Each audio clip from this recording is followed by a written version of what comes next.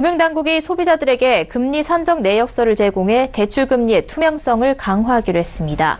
또 부당하게 부과한 높은 이자는 이자를 돌려주기로 했습니다. 앞으로 소비자가 기존 코픽스, 가산금리와 기준금리, 우대금리 등까지 정확히 알 수 있도록 대출금리 산정 내역서를 보다 정확하게 제공합니다. 이렇게 되면 소비자가 받는 우대금리와 은행들이 대출 원가와 마진으로 가져가는 금액도 알 수 있게 됩니다. 은행연합회에서 대출금리를 공시할 때도 가상 금리의 우대금리 등 가감 조정금리를 표시해 대출자가 어느 정도 혜택을 받을 수 있을지 알 수 있도록 합니다. 이번 검사를 통해 드러난 부당한 이자 부과에 대해선 소비자들에게 환급하기로 했습니다.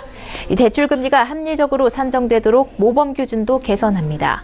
이를 위해 금융위원회와 금감원, 금융연구원, 은행권이 공동 테스크포스를 구성해 개선 방안을 마련할 예정입니다.